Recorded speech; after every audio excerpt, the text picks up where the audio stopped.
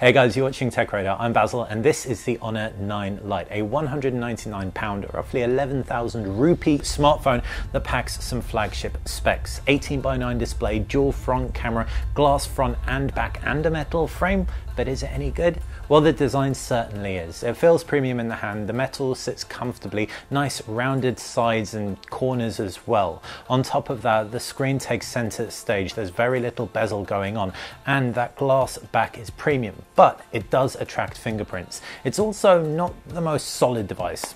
It feels a little bit hollow and that's probably the most telltale sign that this isn't a true flagship, but irrespective, for the price you're paying, it is amongst the best you're gonna get out there and the same can be said of the screen. Full HD Plus, which is 5.65 inches, gives you over 400 pixels per inch, so it's very sharp. It's also an IPS LCD panel, so it's got really nice pure whites, decent viewing angles as well, and solid brightness levels. It's not gonna have the punch or pop of an AMOLED, but you wouldn't expect that at the price point.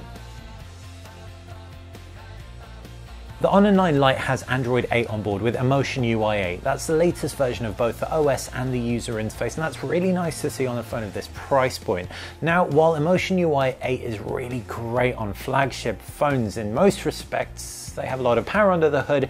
When you have a less powerful chipset, you do see a little bit more slowdown than you would with a similarly spec phone running stock Android because it's a heavier user interface. It does afford you a lot of luxuries. You can quickly organize your home screens. You can use a fingerprint scanner to lock applications. You can also apply themes and transitions really nice and easily. But any stock Android fans out there might be a little bit overwhelmed by this. And like I said, there's a bit more slowdown than we'd have liked to have seen.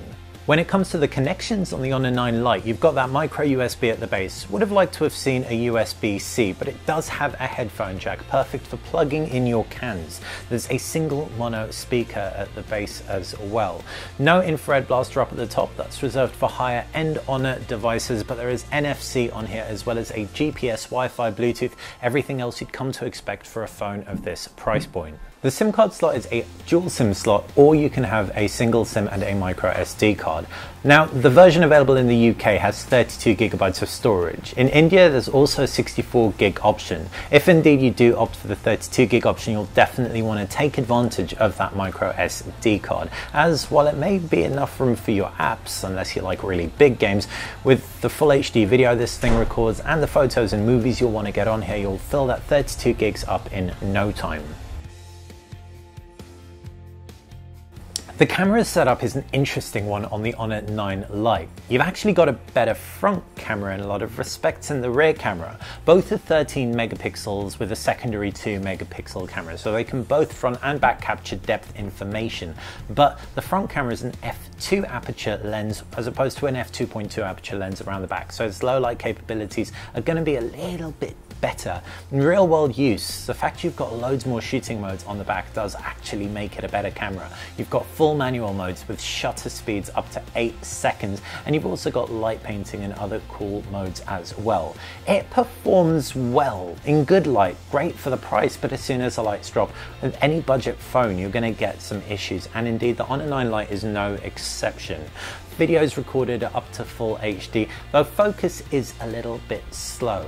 As for the front camera, well, it's the best front camera I've used on a phone under 250 pounds. That blurry background, sharp foreground mode that you can activate is really, really nice and makes for some very fun selfies. The Honor 9 Lite's battery will last you a full day at 3000 milliamps, but it doesn't support fast charging. So if you're in a hurry, you'll want to make sure it's charged up overnight. Gaming on the Honor 9 Lite's good, but it isn't great. And it's only really good if you're playing 2D titles or basic 3D titles. I found that it could handle the new Final Fantasy 15, but Injustice 2 was a little bit of a tall order. There were too many frames dropped for smooth playback. So know what you want if you're gonna get this phone, because if you wanna be a real, real gamer, it's probably not for you. But the screen does look great for all other forms of multimedia. Movies look excellent, it's nice and sharp, so web browsing, ebook reading is very, very on point. In a nutshell, the Honor 9 Lite is a really good phone for the price, especially if you're here in the UK. Main reason being, you're not going to get too much competition with an 18 by 9 screen, better than 400 pixel per inch resolution, and glass front, glass back metal frame, dual front and dual rear cameras as well. It isn't perfect by any means. It's got a micro USB at the base and it doesn't support fast charging either. Also, the 32 gigabytes of storage might not be enough for everybody. If you're in India, there may also be some other phones that are similarly priced that you might prefer to look at. Check out all our reviews on TechRadar to see the competition, but hopefully you've enjoyed this review as much as I've enjoyed the Honor 9 Lite. Thanks for watching.